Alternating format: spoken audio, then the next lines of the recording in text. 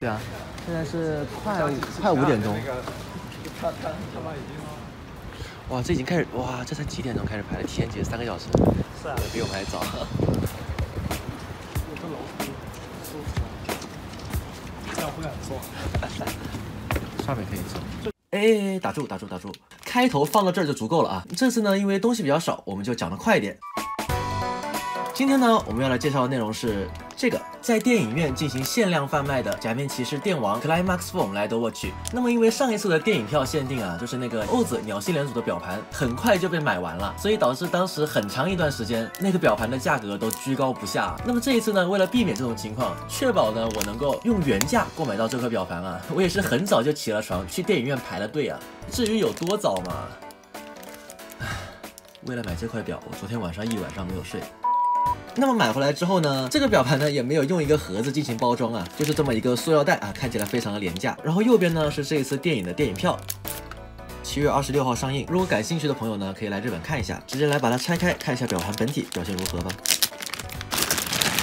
打开之后呢，表盘本体一个，说明书一张。我们直接来看一下表盘本体。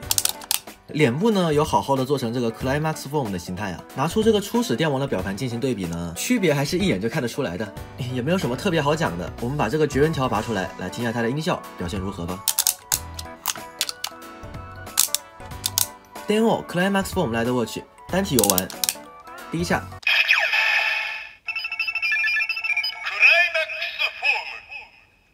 第二下。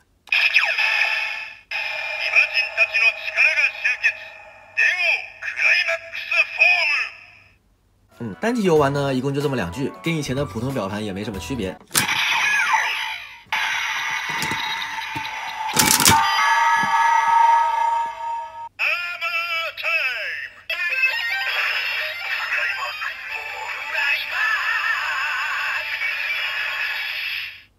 嗯，跟普通的表盘表现没什么区别吧。再来听一下必杀。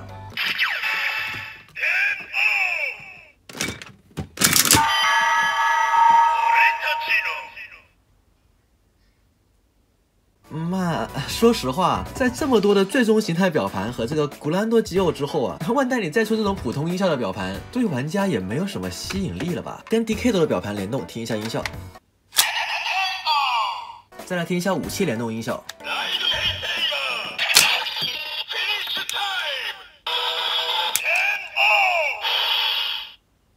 嗯。